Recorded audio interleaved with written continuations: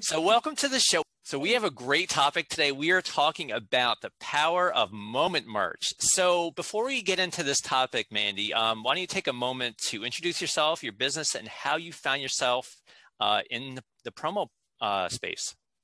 All right. Well, so I'm in Kansas City and I have a distributorship called Brand Energy Marketing.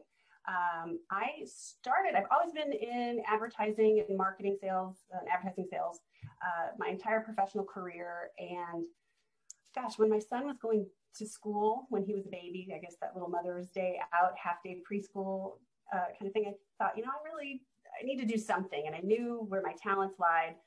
And so a girlfriend of mine had her own distributorship in Colorado where I was living at the time. And she asked me if I wanted to do contract sales for her. So did that for a couple of years, moved to Kansas City, moved back home to Kansas City in 2013 and thought, okay, I know how to navigate ESP. I know I can get an ASI number. I know how that works. I have supplier relationships and anything else I don't know how to do, I can have my accountant on speed dial.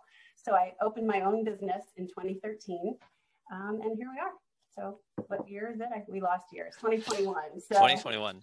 Yeah. So how many years have you been in the uh, industry? So I think this is my 10th year. So okay. in some circles i'm still really new and in others i'm you know nearing the uh the next level. So yeah yeah yeah. I've, I've been in 13 years now and i can't believe it. it's like i just blinked and now i'm 13 years. Uh, but you're right. I mean there there are people in this industry 30 40 even mm-hmm. longer. Um, and then like we have the Godfather. New... You can't leave it. You just that's right. something that's... else, come back in because it's a great industry.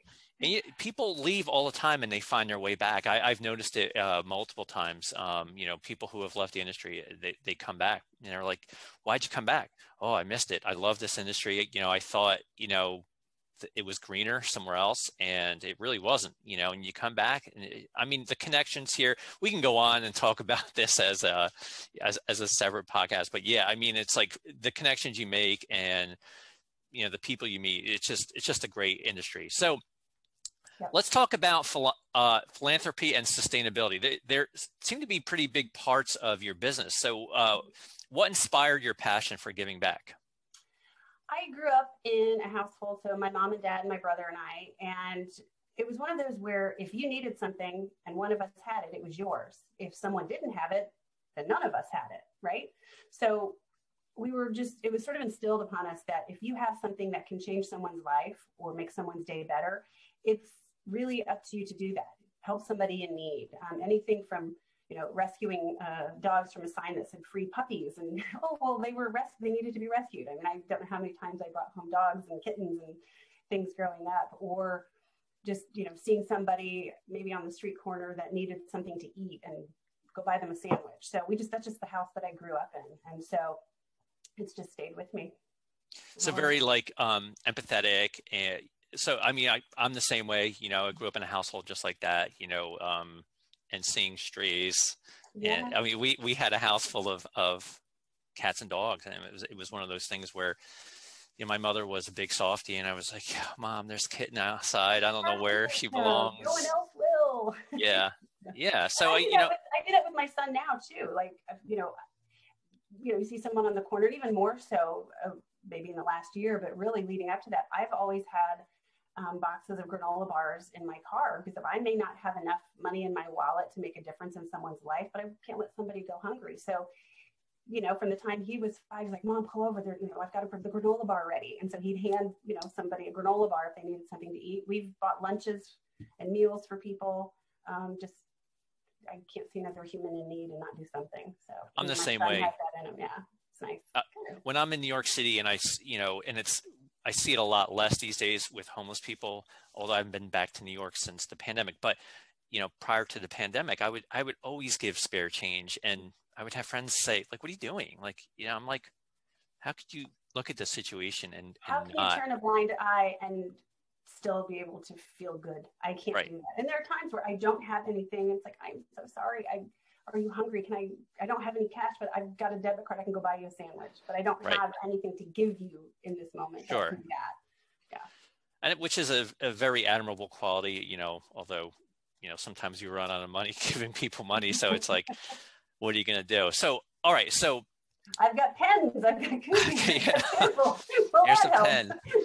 Here's a hat and a pen. So um, I can put clothes on your back. I got t-shirts. Yeah. So moment merch, you know, like it, it's it's sort of a new phenomenon. Uh, for those people who don't know what mom, moment merch is, can you give a little bit of a, a definition? So two things. One, I actually think the term may be new, but the concept is lifetimes old. Think back to in the hospital, the little button you got that said it's a boy or it's a girl. That is a piece of merchandise that is branded to your experience that day. And you keep it in the, you know, the, the box of goodies that you get from, you know, that time and that experience. But it goes back to birthday party favors from a kid going to a party, those party favors. That is merchandise that, that connects you to that moment and you remember that moment. Wedding favors, things like that, concert memorabilia. That's a moment that you've experienced that you want to treasure and hold on to. So you buy concert t-shirts, you buy, you know, the, the, the autograph posters and CDs, things like that, because it connects you to the, and there's an emotional attachment to that experience. So the concept and the name might be something we're talking about now is a neat new buzzword, which I love moment merch. I think it's great. Uh, but the concept is something that we've all experienced for years and years and years. Some of my very favorite moment merch items, I mean, uh, limited edition and exclusive t shirts from an event. Um, those are things that I think are very powerful when it comes to fundraising. Uh, but other ones that really connect you, you know, drinkware. I'm a huge drinkware, a huge drinkware yep. fan, branded drinkware. So, you know, things like this, I think are really, um, uh, they've got longevity and really great branding opportunities, and they still have that emotional connection to the event from where you got it. Right, and that's and that's interesting to to to talk about. Like you know, you saying that Moment Merch has, has been around for a long time. Um, you know, I think you know, in, in the, the course of the last five years, I think social media has really kind of um, escalated uh, what moment merch is and, and being able to turn something that happens at like an event, uh, uh, like a sports event or something, you know, uh, political in nature and being able to turn around promotional products in a very quick and efficient way. So we're going to segue to um, you know, to something that happened to your brother, who's actor Paul Rudd. Uh, he went viral after the Kansas City Royals won the World Series um, because of something he said on live TV. Um, and not long after that, uh, T-shirts memorializing what he said um, were printed and sold, and the proceeds went to a charity. Can you tell us a little bit more about this story and what he said, and how it's a perfect example of moment merch? It's it's funny because it's it is two polar opposites coming together. So it was right after we won uh, the playoffs and we're going to the World Series, and he was down in the field. The local news anchor asked him what his plans were, how he was going to celebrate this, and um, because we really just were going back to my mom's house, he was like, "Oh, you know, I'm just going to go back to my mom's house," and then he realized in his head like that probably sounded really lame. So just being silly and funny, he turned it into, "Oh, well, you know, there's a kegger at my mom's house, you know, five dollar cover." you know, he's not a party at the bar kind of guy. You know, you don't read about him in, you know, paparazzi and tabloids. So that was why, in his mind, it was funny because that's really not who he is. So that was the end of it for us. And then on the way home, our phones were blowing up. Like, you know, it was the party at your mom's house. I was tagged on, you know, in, on Facebook, like, hey, you know, where's the party? And we were we were cracking up about this because, like, oh yeah, I guess people heard about that. Um, so fast forward, uh, people actually did show up to my house, which is actually was my parents' house. That's where I live now. And uh, so people did actually show up for this kegger at, at Paul's mom's house. Um, so through this philanthropy that we do every year called Big Slick, uh, raises money for Children's Mercy Hospital in Kansas City. Uh, we do a, a, limited edition T-shirt every year with an amazing uh, partner of ours who does uh, apparel in Kansas City, and they reached out and said, "Hey, can we make a t-shirt with this saying on it? And obviously proceeds will go back to children's mercy through big slick. And so i just i ran it past paul and he was completely shocked that people heard about it because he's not on social media. He has no instagram twitter facebook any kind of social media presence. So he was laughing that people heard about it. I'm like you know people heard about it it's this thing called going viral you, have you heard of that and so you know that sort of became the joke but yeah t-shirts were created Um, and the funds went to Children's Mercy. So, how long be, uh, until those T-shirts were created? Uh, literally days. Okay, so days, and then do you know how many um, were sold? Um, you know, it's funny. I don't have for the Royals, but when, in fact, I actually have them here. When so this was the original one in our Royals colors. Oh, nice. You know, oops, kegger at my mom's house. Can I get one of those? Limited edition. and then when the Chiefs won, uh, and we're going to you know, Super Bowl, we did another one. And on this, we did. Um, oh my gosh, I'm gonna. I think we did 500 Okay. And so basically, it was um, a ten thousand dollar donation to the hospital. I believe on those numbers, that's what they were. So, yeah. Yeah. That's awesome. I, I, you know, I love that story. Uh, you know, and those shirts. Like, I, I believe I saw Bill Petrie wearing one. Yeah. If I, if I'm not mm-hmm. cor- correct, yes, it was yeah. Bill Petrie. He, he had um, that T-shirt on, and I was like, wow, I love that T-shirt, and I had no idea the history of that.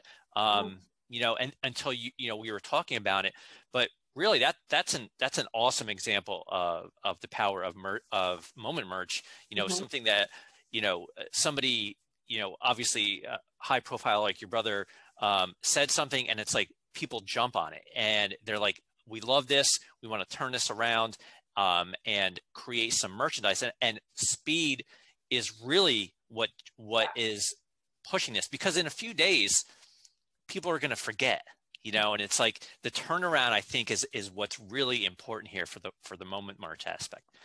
Right so, and it, it was a very happy accident too. I yeah. mean, we, we, couldn't have we couldn't have scripted it any better right? And so just to be able to like you said quickly turn that around and having and i think you know from uh, from a promo industry standard i think having a perspective having that relationship with as a distributor or having those relationships with your suppliers that is a critical relationship to have to be able to rely upon them to help you you know with with an experience and create that for, for your clients. So i think having those relationships um, can absolutely make any any situation better. Right. And i and i'm going to ask you that in a second um, you know because certainly you need as a distributor to have you know certain things in your arsenal. Um, you know and, and, we'll talk about that in a second. I just want to really touch base with you quickly about um, the charity big slick and um, why why you chose Children's Mercy. So it's really a diamond in the rough. So it is one of the only pediatric. Um, it's the only pediatric uh, cancer center and um, hospital within between um, what is it Omaha, Oklahoma City, Denver, and St. Louis. Okay. So they take on, it's a nonprofit, it's not part of any hospital system, and they take patients regardless of their ability to pay or not. And so, whether you have had kids or you know someone who has kids, whether you've, you you know, used their services or not, everything from a scrape knee to, God forbid, life saving techniques, you walk in and it's such an amazing place. It's such an amazing place. And so, um, this event that we have called Big Slick um, it started back in 2009. Rob Riggle, uh, who grew up in Kansas City, um, and it's sort of, you know, we call them our guys, uh, five guys who have Kansas City roots and uh, left town, like hometown boy does good kind of thing. They've all gone into the acting and um, entertainment world. Right. And so we have Rob Riggle, uh, my brother, as you mentioned, Paul Rudd, Jason Sudeikis, Eric Stonestreet, and David Koechner. And Rob had done an event um, and toured the hospital and thought, man, we really got to do something for this. So he called Paul and said, hey, do you want to do an event? Let's do a poker tournament. He's like, yeah, totally. I'm in. Okay, call Sudeikis. So they called Jason. And so for many years, it was the three of them as our hosts. They would bring in um, their celebrity coworkers basically and say, hey, I'm doing this fundraiser. Do you want to come in? Everybody volunteers their time. Fast forward from there a few years. Um, David Koechner and Eric Stonestreet became our two other official hosts. So we now have five hosts. What makes it even a little more unique is that each one of those guys has family members that are that have come and gone and returned and are still in uh, some level uh, of Kansas City. And so we're all we're all here. We all work on it together. We have this amazing committee of volunteers who are friends who've become family. It really is this family affair, and we do really fun, unique, exciting events throughout this weekend. But the best part hands down, regardless of which celebrities come in, regardless of how big the party is, the best part is going to the hospital for every single one of us because we have designated um, over many years we designated the pediatric uh, um, oncology department the cancer center and blood sure. diseases as our um, beneficiary and so our first year our goal was we had no idea what we were doing it's like well okay maybe we can raise $50000 we raised $120000 oh wow. And every year it's like if we can just make you know one more dollar than that then we feel like it's a win. To date we did our so we did 10 years in person and then uh, year 11 we did big slick at home which was last year. And right. then in uh, about 30 days we have uh, our second virtual event. It's it's a, with a twist the way big slick normally is um, and to date we've raised over 12 million dollars for the hospital. Um, but like i said going to the hospital is the best part because we have this it, it, sounds gross because we get something out of it and that's not why you volunteer. That's not why you you donate your time treasure or talent because you get something out of it. It's just this amazing side effect that you feel so good knowing that here are these families that are possibly going through the worst experience they've ever had to deal with. And seeing their faces light up when they get to meet any one of our celebrity guests who volunteered their time or our hosts we've taken them out of that moment for just a minute and just to see, be able to see that look on their face. I mean i've had to go duck into supply closets and to go cry because it's just so emotional. It's such a beautiful experience i'm starting to tear up here. I mean i can't imagine what it must be like to know that you know you're helping um, like you said these parents who you, you can't even imagine what they're going through. You know i have a couple kids um, you know very healthy kids. I'm very fortunate you know we're very blessed. And I always think about these, you know, you see these stories. I'm on social media all the time and I see these stories about these kids, you know, who, they, you know, they're born into this world with cancer or, or something and you're just like oh my god like i can't imagine what these you know not only the children are going through but also the parents eh, yeah. you know to, to struggle and through that. siblings and their siblings. And their siblings and to to know that you can make a difference you know by helping these people through. I mean the last thing they're concerned about is you know it's like oh these financial bills like you know the, the most important thing is getting the kids to care you know worry about the money. Afterwards if they don't have to worry about that money and it's like you know these you know they get through you know a horrible time. I mean that's just god i i can't even imagine how i would feel. I'd be ducking into a lot of closets too. oh, yeah. yeah. It's it's pretty remarkable because with it's really i mean we've such a, a close relationship with um, the child life team and the mm-hmm. philanthropy department over at the hospital and everyone from the the ceo to the research uh, physicians and uh, just it's it's really this weird close like I said, you couldn't script it if you tried. This crazy close family event, and um, you know, the week leading up to the big slick week, children don't want to be discharged. They want to stay. It's like Christmas week. It's yeah. like, like Santa's coming. Like it's Christmas yeah. week. They don't want to leave, and so it's it's really it's pretty special that you know kids want to stay in the hospital because they want to be a part of this. So yeah, uh, and it's, it's you know you mentioned five guys. I'm I'm I'm not somebody who like you know is really uh, in touch with all the celebrities, but I know all five of those guys. You know, I'm familiar with their work, and they all seem like really good guys. You know, mm-hmm. I mean, yeah, Eric Stonestreet with um, what's that show that he was Modern uh, Family. Modern Family. Um, Jason Sudeikis, obviously the actor, and your brother Paul. Um, David Koechner, I'm very familiar with. He's he you know he plays small parts in a lot of comedies but you know he's he's got one of those uh, very recognizable faces. And who is the fifth one?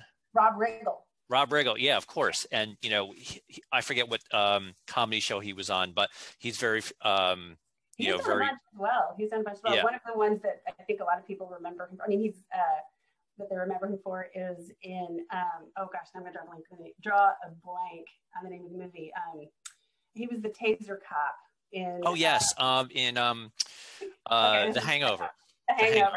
yes also, yes and he does he's got his he's got shows that he's doing uh he and steph curry co-host um that wacky you know golf show oh gosh no i feel terrible i know what you're talking about and also he does nfl stuff he i, I know he's huge nfl yeah, yeah. He, you know he did saturday night live stuff so, i mean they're all crazy right. talented and funny and just again down to earth Mm-hmm. It's all about the kids. It's just we all share that same philosophy. It's about kids. Well, that's great. I mean, like it, you know, in time of pandemic and like we were talking about earlier, gas shortages and who knows what else.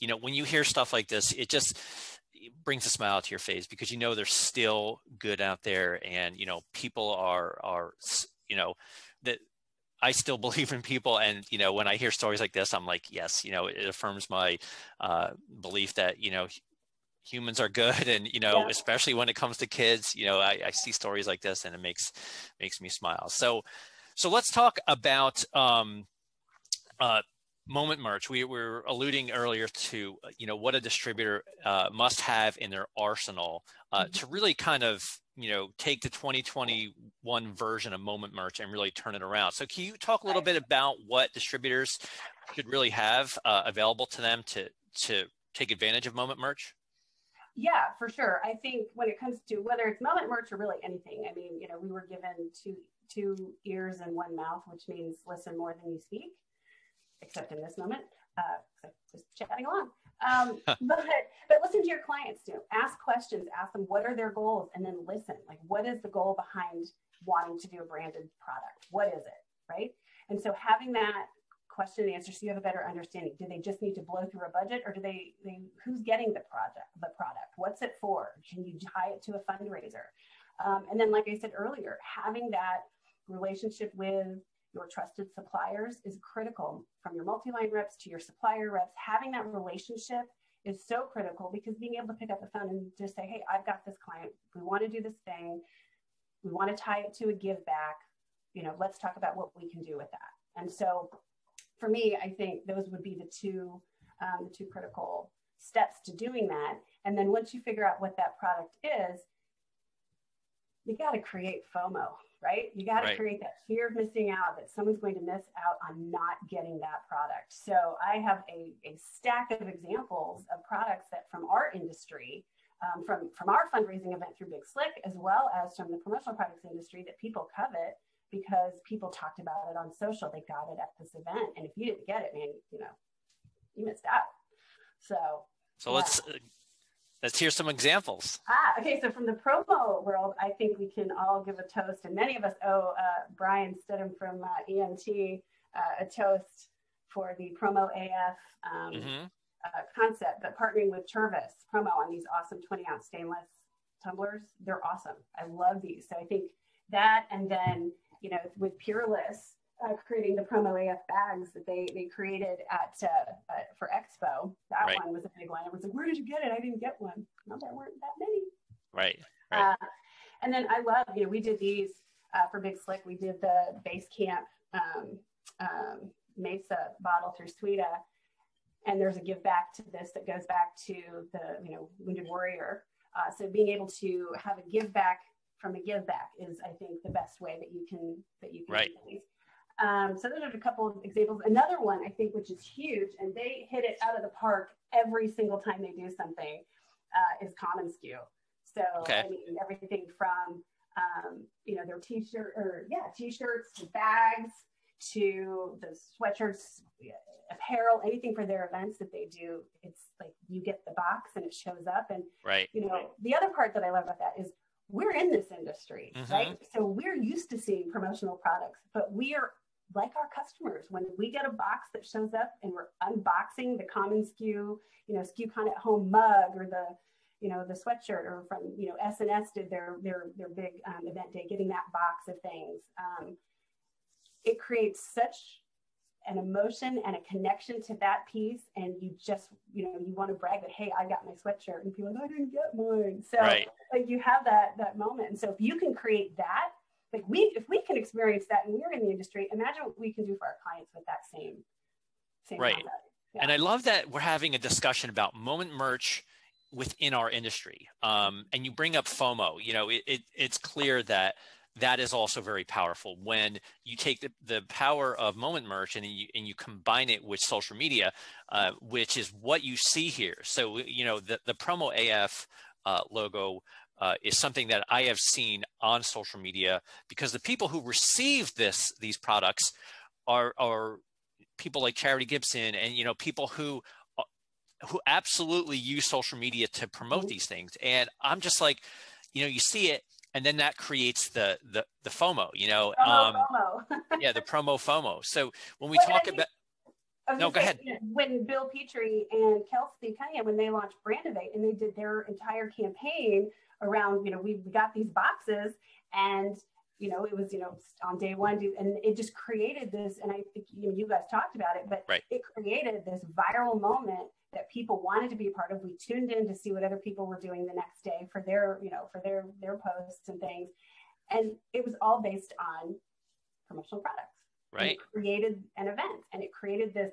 I didn't get to be part of the, you know, collective group that got to launch this, so I mean, it created that. It, it, did more than they ever thought it would, and better than they ever dreamed it would. And and that to me it was just awesome. Was right.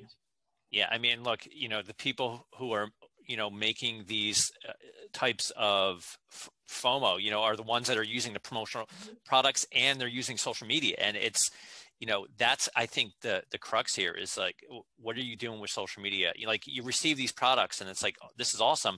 But you take it a step further you know now you're you're putting it out there on uh, instagram facebook uh, twitter wherever you want to put it you know i see them everywhere and it's like wow. It's like you see that and you're like oh that's oh i like that like you just showed me that you showed me that um uh that water mug and i was like that's pretty i like that um and now i'm like and that's the thing like you know, being able to um, take a product, and that's the thing, it needs to be a product that people want, they will miss when it's gone, somebody else wants to steal it, right? Like they'll be devastated if you lose this product.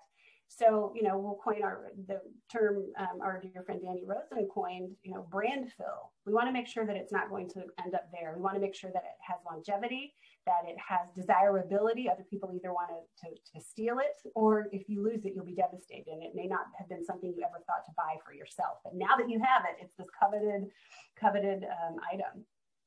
Yeah, I think that's the X factor in this industry now. It's like, how do you create promotional products that people want to keep? You know, and I think, I think that's. Yeah, and I think the other part of that too is the messaging. You know, right. like just like from a distributor standpoint, nobody wants to see my logo on their like they don't care but if mm-hmm. I put a mm-hmm. good message on it, they're gonna, on a good product, they'll remember the message and the product. I mean, again, nobody wants my logo on a mask on you know their face. I don't want to see brand energy marketing. Right. But you know what? They might enjoy something that says "spread joy, not germs," or you know, you something that has a message that makes that's relevant on a product that they need to use. They don't need to see my logo. They don't care. Right. and, and I think that is, you know, it might be a very simple distinction, but it's huge in the long run because, like you said, you know, we don't want these uh, products to end up, you know, in a landfill. You know, and it's like, you know, that's the knock on our industry. Uh, for those who are outside of it, you know, you see all these news. Oh, this stuff is, you know, it's junk, it's wasteful. Well, no, not if you're doing it right. You right, know, right. So, and that's where. So I'm um, on the uh, board with an amazing group of people um, on for promo cares, and that's the messaging that we are trying to get out. That there are companies and products that are to the T following everything, you know, from from corporate, um, uh, you know, from CSR and, and and sustainability and corporate social responsibility and products with a give back. And so they're being um, smartly and safely produced with a give back that will continue to help others. So that's sort of the, the gospel that we're trying to, right. Uh, to, to share with everybody is that these companies and these products exist. And if we as an industry can really make a shift toward concentrating on products that have that, you can change things. You can make a positive change. Right. Um, from a planet standpoint, you know, sell sell more of these than than bottled water. You know, no disrespect right. to bottled water, but that's less waste, less plastic. You know, there's companies like um, you know, uh, uh, fill it forward and mirror that every time you reuse and refill their bottle, you can scan and that with a QR code and that contributes money to a water project in another nation. And all you're doing is something you do every day and that's drink water. Right. Right. Right. I love so those examples. So we can do. Mm-hmm. Yep. Totally. All right, so uh, we're going to be wrapping up shortly here. So uh, I have a couple more questions for you. Um, and now this one is kind of like, you know, is is Moment merch like you know people are like, oh, is it just a fad or is it here to stay? I know you say it's it's been around a long time, but where do you see Moment merch going? Oh, I think it's here. I don't think it's going anywhere. Think about when you go see your favorite band, you buy a, mm-hmm. buy a t-shirt at the show. Um, if you know that your purchase can help someone else. So thinking back to this pandemic um, time frame, you know, with the restaurant and service industry, I had a client, we created t-shirts for them and they sold them and the money went to the, um, the staff. It was just to support the staff when restaurants were closed, they didn't have business. So, but some, you know, people were buying these shirts proudly supporting this cause. So I don't think that is ever going to go away. Right. I agree with you. I think like there's so much opportunity um, to seize on what's like current events. So like I'm a, I'm a big concert goer, and I know the first time I get back into um, you know the concert scene, I, I know the type of T-shirt or hat I'm going to be after. You know, not the one that that says, "Hey, you know, just this is a tour or this is the band," but the but the T-shirt that's going to kind of reflect something like, "Hey, you know post pandemic tour or something like that mm-hmm. that's kind of like in touch with with so we made it tour like we made right exactly we yeah. made it through or something like that you know like that to me is is the perfect example of how powerful these products can be based on on on what's going on. And there's always something going on. I mean the last year you know like i've never been none of us have ever been part of anything like this. And the residual that's going to come out of this in terms of opportunity for for moment merch i think is going to be huge. You know your first time back at a concert your first time uh, you know doing a lot of things that you normally do that you haven't done in a while you know i think there's opportunity with promotional products. So you know i don't think it's going anywhere. I think it's going to you know get even bigger yeah, I agree. And and when you're at a concert and you you know you're a fan, right? So you have some ownership in that because this this is a part of you that experience, and to commemorate that experience and have a thing. So whether it's you know concert T-shirts, you know I have a, a slew of concert T-shirts that um, remind me of an event that I did, and it was a great experience, and I want to remember that. And and it's like you have this ownership of that moment, and and you're the fan, and you get to celebrate that, and you get that feeling every time you wear that or every time you you know you relive that experience so no I, it's it's not i don't think it's going anywhere it's here I, I can't wait for the first concert mask i get I, you know there's there's yeah. going to be concert masks even if they're not even required to wear at a concert but i i'm sure that you they know exist. Yeah, I I've seen them. I you know mm-hmm. I saw a lot last year because um, a lot of these bands were selling merchandise to try to supplement the income that they were losing because of the pandemic and there were lots of, of band merchandise, you know, with masks. But mm-hmm. the first time I actually get one at a concert, it's just going to be like, oh my god, I can't believe it because prior to world. yeah, prior to the pandemic, you would have been like, what is this? And now right. and now it's part of like normal apparel right now. And what's another thing, you know, with a lot of these, because a lot of these um, bands had already printed up a lot of their their t-shirts and merch, whether they're reselling or not. But a lot of I, I was reading a lot of them are um, upcycling them. So you can upcycle that merch and make a you know collection out of that, or upcycle it and use it for again those that will help overseas and impoverished um, yep. nations and things like that, and give new life to to that material since they couldn't have it at their actual event because their event didn't happen. So. Awesome. So, Mandi, thank you so much for taking the time today. I have one last question. We always at, end with a fun question. Okay. Um, so, I have a list of questions here. Let me which think which one I'm going to ask you. All right. Do you have any hidden talents? Oh. Well, I'd say it's hidden, but I know that there's video out there somewhere. So I love karaoke. Um, I cannot hold a tune to save my life, but I I sing with passion, um, uh, out of tune, but loudly. I like that. I like that. So you uh, you say you had a uh, karaoke in your house, right? yeah, so set up downstairs. Uh, my basement is an Irish pub, and um, so we have a, a, band set up area down there with karaoke and live music. So yeah. Do, do you have you it's been like back? Bar, but it's just there's a house on it. It's, yeah. That's uh, I, yeah. I, I, love that idea. Um, I wish I had a Irish bar in my house. Um, it was really great during pandemic because and the dress code's great because you can wear PJs. Oh my God, guys, I'm jealous now. Um, have you been to an actual bar yet since the pandemic to do um, karaoke? Um, so I am double vaccinated. So um, me too. I, yeah, the big, you know, the big question is which one did you get? You know, those are like the new Pfizer. Who did you get? Oh, Moderna. Um, Team Pfizer. Yeah, no, good for you, and good for you for doing your part to, you know, help the help us get back to to where we want to be. Um, I went, so yes, actually, I have not been to like, you know, like a bar night out, but my mom and another friend of ours every Tuesday had this little Tuesday lunch club when we would go to our most favorite Italian restaurant. My, my, we are friends with the family. It's a family owned business, been around for 60 plus years. Um, and we've got I've again known them since I was single digit age, and so we would go every week and have this lunch. And we've not been in the restaurant. We've done carry out here and there because we wanted to support, obviously. Uh, but just last week, the three of us had our first lunch back in the restaurant, and it just it felt so good. Yeah, it felt no karaoke, good. no um, no karaoke there. No. Oh, but this is fun. So there is a group here. Uh, that they are a yacht rock tribute band called Summer Breeze so much fun. They've been doing uh, rooftop concerts uh, that overlook downtown Kansas City. So I have done some live music outside of just, you know, downstairs in, in the pub. Um, but yeah, we've done that and that's been really fun. In fact, they're playing this weekend. So we'll be seeing them um, overlooking downtown, which is just such a, a cool environment. Yeah. I, I, love yacht rock, you know, and I'm, I'm not embarrassed to admit that, you know, uh, Summer Breeze Crosby, Stills, and Nash. I mean, it just God. Seals Croft. oh, it's Seals Croft. Yeah, I mean, yeah, but That's I mean, band's name, which is great. yeah, Seals and Croft. That's right. I God. Um, but yeah, I I would love to to actually like they they're on like a deck, right?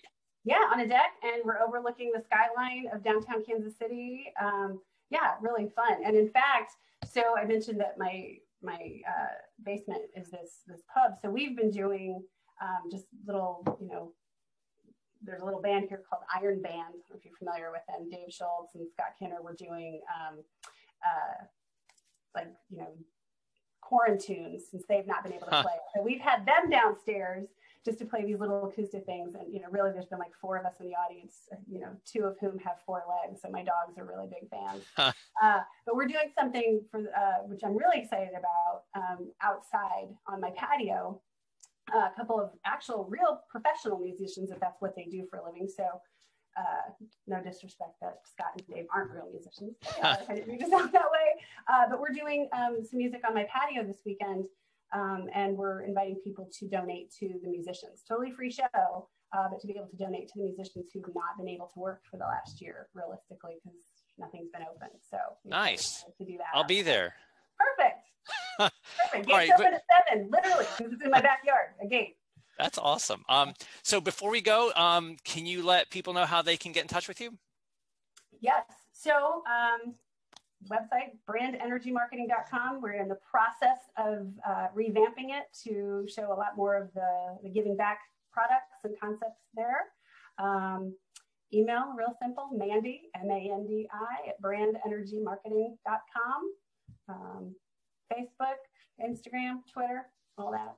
Send a carrier awesome. pigeon, smoke signal, however. Going old school there. All right, Mandi, thank you so much for your time today. Thank you so much. I appreciate it. Oh, and if anybody wants to know more about Big Slick, they can go to bigslickkc.org. There you go. Big Slick KC, like in like KC, like the le- mm-hmm. letters KC yes, dot org. KC as in Kansas. Yeah, bigslickkc.org. Awesome. Well, thank you thank so you much, Mandi. Thank you. I appreciate it.